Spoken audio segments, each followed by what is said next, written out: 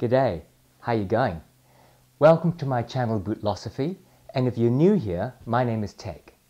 I'm working on Whadjuk country, Noongar Boodja, in Western Australia, and I acknowledge the Noongar traditional owners of this land.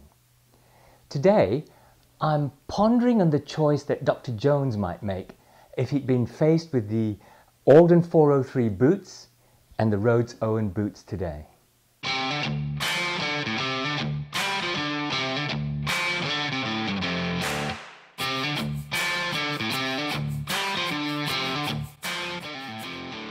So this is the Alden 403 and this one is the Rhodes Owen. In case you don't get the reference, Harrison Ford wore an Alden boot in all of the Indiana Jones movies. So much so that the Alden mock toe work boot in its various makeups is now known as the Indy as well as by their model numbers. In this case, it was actually the Alden 405 in brown calfskin leather. The story is that the costume designer originally chose a pair of Red Wing mock toe boots, uh, but Harrison Ford, having worn the Alden 405s as a work boot when he was a carpenter, insisted on wearing the Aldens because they were so comfortable. And as it transpires, uh, also versatile for the movies because Indy could wear them when he went adventuring and then he could brush them up to wear as he walked the halls of academia. Since then, there have been many makes that make designs very similar to the sleek mock toe design of the Alden Indy. This one, the Rhodes Owen boot, is no exception. Even though there are some immediate differences, like the 360 degree Goodyear welt, as opposed to Indy's 270 degree Goodyear welt. So let's take a look at the style. These are built uh, both 6 inches tall, mock toe design, the mock in mock toe is short for moccasin toe, referring to the moccasin shoes made by First, First Nations Americans and all categorized by this uh, U-shaped stitch along the edge of the vamp. Usually the mock stitch sews two pieces of leather together, uh, the vamp and the piece making up the walls of the uh, toe box. In the case of both of these boots, and in fact uh, this flattened sleek design, they are a mock mock stitch. The stitching gathers up a, uh, raised pucker to create the impression of a joint, but it's really one piece of leather. You can also see in both that the stitch is a bit inboard of the edge of the side walls, unlike a Thorogood mock toe or a Red Wing 875, and making it look sleeker, lower profile, and more dressy. They have different outsoles, but both are connected to the uppers with a Goodyear welt form of construction. Uh, that's where a thin strip of leather called the welt goes around the circumference of the shoe where the uppers are sewn to the inside edge and then outside the outside edge of the welt is sewn to the mid and outsoles. Goodyear welted shoes are either made with a 360 degree Goodyear welted form or a 270 degree form. The difference is, like in the Rhodes Owen, the welt goes all the way around the boot, hence 360 degrees or full circle. Or like this Alden 403, where the welt only goes three quarters of the way around from one side of the waist to the other side, uh, and then the heel portion is glued and nailed. The advantage of the Goodyear welt is that it's more easily resolable. You can undo the stitches, peel off the outsole, and attach a new one and then sew it back on. It's also more water resistant because there are no stitch holes that go from outside directly inside the welt forms a kind of barrier between the two stitches. The difference between the 360 degree welt and the 270 degree welt is that the heel on the 270 is set to look more sleek and doesn't have an ugly ledge sticking out. The Aldens do look more dressy there, don't they? The disadvantage is that in theory the Aldens are slightly less water resistant because there's no welt barrier to the heels. Uh, this, design by Alden, as evidenced by Harrison Ford's use of them when he was a carpenter, was intended as a work boot. Today, that mid century modern aesthetic is now so trendy, especially when work boots are mostly technical plastic and fabric padded boots, that their aesthetic is quite fashionable outside of work by a carpenter, builder, or otherwise. Let's take a look at each of these. I'll start with the Alden 403.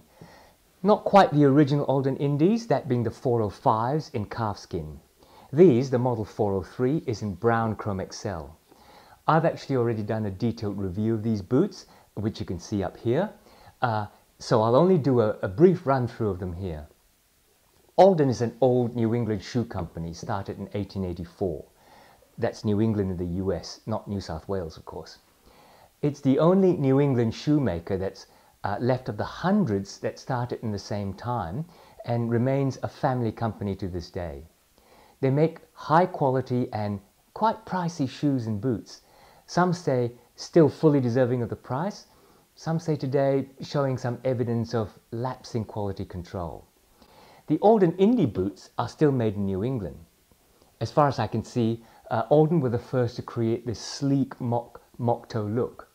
In my research, I can't find exactly when it first appeared, but it seems sometime in the 1960s or 70s. In most articles these days, they write this off as, oh, decades ago, uh, which I cringe a bit at because I very well remember the early 70s as a kid in high school, and it doesn't feel like decades ago. The Chromexcel leather from Horween in Chicago is a waxy, oily, combination tanned leather and quite easy to scuff, so I'm pretty sure that while it might be suitable for the college Indy worked at, isn't going to be great for when you get pinned to a canyon wall by a Nazi tank. The construction is a light but sturdy touch. The boot is fully lined. Uh, the Goodyear welt at 270 degrees doesn't add a lot of weight to the boot, and the toe is only lightly structured. People say the 270 degree welt is not as water resistant. I bet Indy knows after jumping over a sinking ship and swimming up to a U-boat. The Trubalance last used in most Indies is a combination last, that is, a wide, comfortable last. It's built on cork and leather, mostly. Uh, it's incredibly comfortable. There's a wide heel with this uh, quirky curve that puts part of the heel under your arch to give it support over and above the shank. The cantilevered construction of the uppers under the arch gives it a built-in hugging support. This is potentially the most supportive arch support you can get in a boot and would be great for Indy as he trudges around the world and um, stepping over all kinds of unpredictable terrain. Even after kicking the odd Nazi, I reckon his feet wouldn't feel tired or achy. I said the sole construction was mostly cork and leather. There is a leatherboard midsole. Leatherboard is like the chipboard of the leather world and while cheaper, uh, may not be as durable as proper veg tanned leather midsoles something to be aware of. The sole is made of flat nitrile cork, uh, a rubber compound mixed with chips of cork. It's soft enough to be comfortable and durable enough not to lose chips when you're crawling through uh, Petra. Is it grippy enough? It is for me. I don't live where there's ice or snow, and I think it would be fine uh, walking over Egyptian sand dunes. But walking in the snow and ice of Tibet or the mud of the Amazonian jungle, mm, I don't know. It's a versatile design, you have to say. You can wear it in tough conditions if you don't mind getting the Chromexcel scuffed and the uh, sole matches the terrain. And you can, you can brush it up to be dressier for social occasions. Uh, they sell for around 600 US dollars, possibly a bit steep for a college professor's salary unless he boosts it with uh, tenure and a little adventuring on the side. Now, the turn of the Rhodes Owen. This is made by Rhodes, which is the house brand of Huckberry, a one-stop online retailer of men's apparel, everyday carry, footwear, gear and home items. The Rhodes Owen is made in Leon, the Mexican capital of leather and boot making. Obviously Rhodes has way less history than Alden in the shoemaking department. But first off, let's say up front that um, while not Alden's, the QC and construction of these boots are good. There's nothing wrong with the stitching. Everything is uh, stuck together the way you'd expect and nothing's fallen off this pair in about a year and a half of regular but not frequent wear. The leather is full grain wax leather. I think it's chrome tanned. It's not especially remarkable leather. It's a little stiff, uh, but it's not uncomfortable and has a smooth waxy finish not unlike dress shoes. Yeah, they have less character than Chromexcel, but maybe they'd stand up better for crawling under a Venetian cathedral and swimming in the sewer. They don't scuff as easily as Chromexcel, even when I took them for a walk across some tricky rocky terrain in a forest reserve near where I live. It's easy to clean up, and they take Venetian shoe cream just as nicely as Chromexcel. They're also fully leather lined, but I'm going to say that they're lined with a leather that's not as soft and comfortable as the Aldens. Not uncomfortable, um, but doesn't feel like a soft glove. Like the Alden 403, they've decided to give you nine eyelets and uh, speed hooks, nine of them, up a six inch shaft that usually takes seven.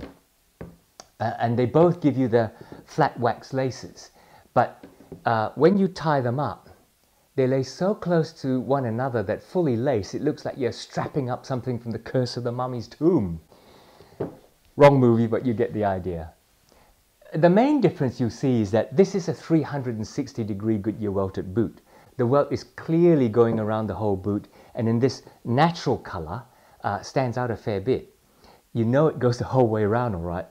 It sticks out, not only at the heel, but all around a lot further than the welt around the Indies. In the Indy boots, the welt is sanded quite close to the stitch, um, almost to dress shoe standards. Some will say these are more water resistant, especially in the heel area. Uh, but these welts, mate, they stand out, baby.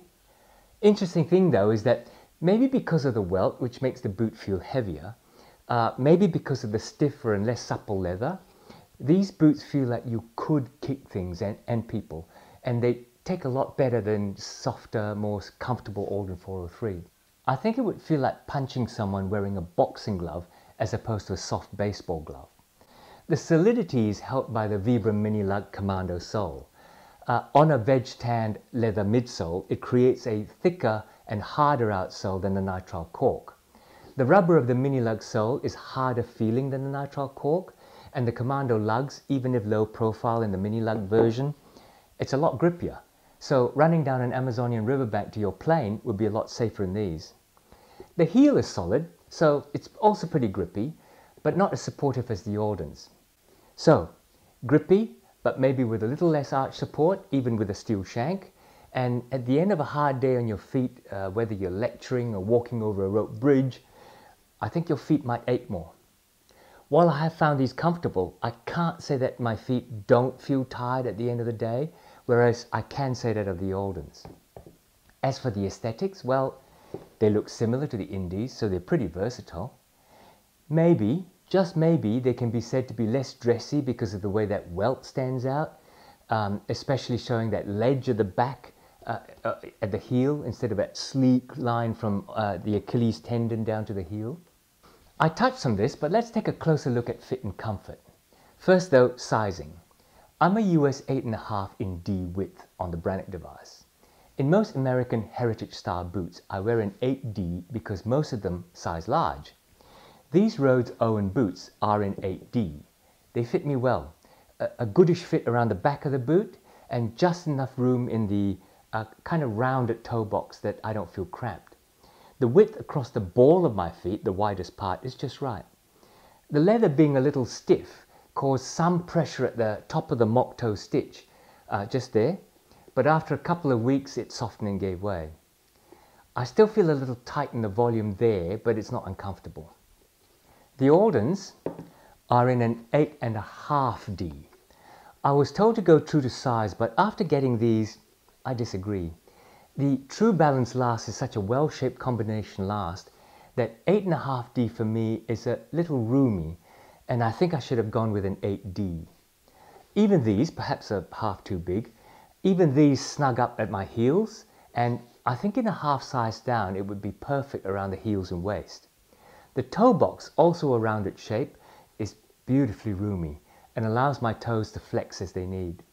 The last also has a little more volume, I feel, so I don't have any press down effect and breaking in uh, these was a breeze. The significant difference in comfort was the arch support.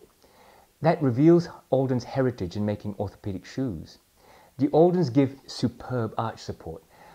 I don't know how they do it, but they must have something built up in the shape of the mid and insoles because it feels like there's something pushing up. The tucked in cantilevered uppers at the arch also support the foot just there. Then on top of that, the curvy heel is designed to put basically a solid heel structure right under the arch, helping the shank do its job. It strikes me that Alden have constructed a wedge sole boot without using a wedge sole.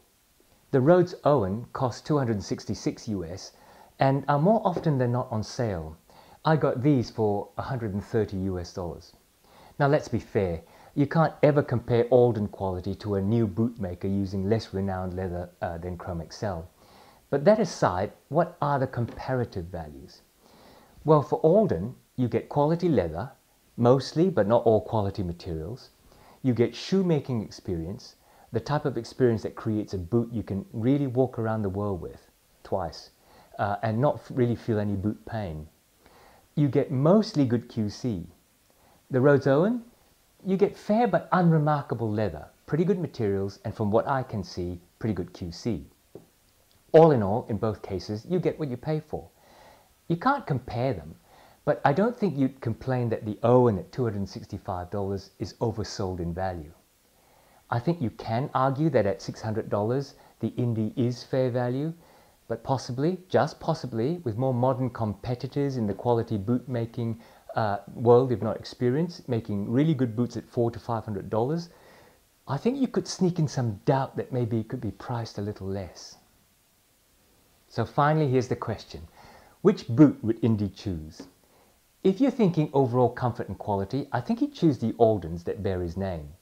If you're thinking about value for money for a reasonably robust boot, hit by the Owen.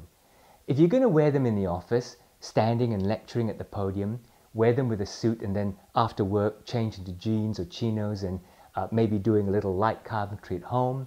Uh, maybe if you need to walk around the streets of Rome or Berlin or even across the tops of sand dunes to observe what those Nazis are digging up then the Alden 403 is for you. On the other hand, if you're going hiking and then you go out to a barbecue or date night, if you're going to scuffle through rock uh, cut tunnels and, and trudge through muddy riverbanks and get your boots all scratched up, and especially if you don't have $600 to spend, the Owen is a pretty good sub for the Alden. So there you have it guys. That's my comparison of the Alden 403 Indy boot with the Huckberry homage to it, the Rhodes Owen. I hope you liked it and if you do, please click on the like button below and if you haven't already, click on the subscribe button too. Both will help me to grow my channel and if you subscribe, you'll be told by YouTube when I upload more videos, which I will. More videos on boot reviews, boot comparisons, boot brands, as well as other leather goods. Until then guys, take care and I'll see you soon.